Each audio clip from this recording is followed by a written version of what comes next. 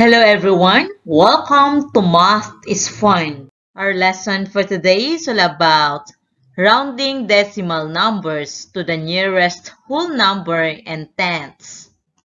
These are the steps in rounding decimal numbers to the nearest whole number and tenths. Number 1. Determine the rounding place and the digit to the right of the rounding place. Number 2. The digit in the rounding place is the one that will either be rounded up or rounded down depending on the digit to its right. Number 3. If the digit to the right of the rounding place is 5 or greater, add 1 to the rounding place, while less than 5 means retaining the digit in the rounding place. Number 4. Do not forget to drop all the digits after the rounding place. To understand the steps, let's study some examples. Round to the nearest whole number. So first is we're going to find the rounding place. And the rounding place is the nearest whole number. So, 5 is the rounding digit. The life of 5 depends upon the digit to its right. So, what is the digit to the right of 5? Yes, you are right, 7. Then let's evaluate 7 if it is a round down or round up digit. So, what are round down digits? Alright, round down digits, these are 0, 1, 2, 3, and 4. How about the round up digits? Very good. The round up digits are 5, 6, 7, 8, or 9. If the digit to the right of the rounding place is a round down digit, then the rounding digit will be remained.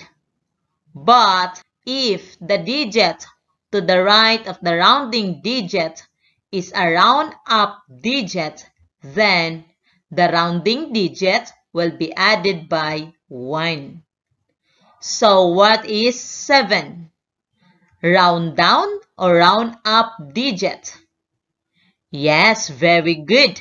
7 is in the round up digit. So, what shall we do with 5? Alright, we're going to add 1 to 5. 5, it becomes 6. Then 7 and 1, we're going to drop down. The final answer is 6. This is our rounded number. Another example, round to the nearest tens. So, what is the rounding place? Alright, it is tens. What digit lies on the tens place? Yes, you are right. 3 is the rounding digit. Next is we're going to look at the digit to the right of 3, which is 4. So let's evaluate 4 if it is a round down or round up digit. What are round down digits? Alright, these are 0, 1, 2, 3, and 4. How about the round up digit? Yes, these are 5, 6, 7, 8, and 9. So, if the digit to the right of the rounding place is a round down digit, then the rounding digit will be remained.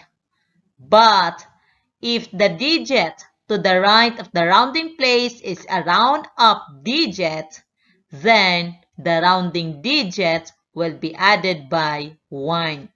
So, what is 4? Round down or round up digit? Yes, you are right. 4 is a round down digit. So, what shall we do with 3? Yes, 3 will be remained. Then we're going to copy the digit to the left of 3. Then drop the digit to the right of 3. We copy the decimal point and 4. Therefore, 4 and 3 tenths is our rounded number. This is the final answer. Let's have a short exercises. Round the following numbers to the indicated place value. Number 1, 8 and 78 hundredths. We're going to round it off to the nearest whole number. So, what is your answer? Yes, you are right. The answer is equal to 9. The rounding place is 8. This is our rounding digit. Right of 8 is 7. 7 is a round up digit. Then, we're going to add 1 to 8. 8 becomes 9. Then, 7 and 8, we're going to drop. 9 is the final answer. Number 2, 65 hundredths. We're going to round it off to the nearest tenths. So, what is your answer? Very good. The answer is equal to 7 tenths. Why it becomes 7 tenths? Yes, the rounding digit is 6. Right of 6 is 5. 5 is a round up digit. Then we're going to add 1 to 6. 6 it becomes 7. Then 5 we're going to drop. The final answer is 7 tenths. Another number, 95 hundredths. We're going to round it off to the nearest tenths. So, what is your answer? Very good. The answer is equal to 1. The rounding digit is 9. Right of 9 is 5. 5 is a round up digit. Then we're going to add 1 to 9. 9 plus 1 is equal to 10. We regroup 1. The final answer is 1. Next number. 5 and 39 hundredths. Round it off to the nearest whole number. So what is your answer? Fantastic! The answer is equal to 5. The rounding digit is 5. Right of 5 is 3. 3 is a round down digit, so 5 will be remained. Then the final answer is equal to 5. I hope that you understand our lesson for today. With this, just because something is difficult doesn't mean you shouldn't try. It just means you should try harder. Thank you for watching this video. And don't forget to like and subscribe to our YouTube channel for more educational videos.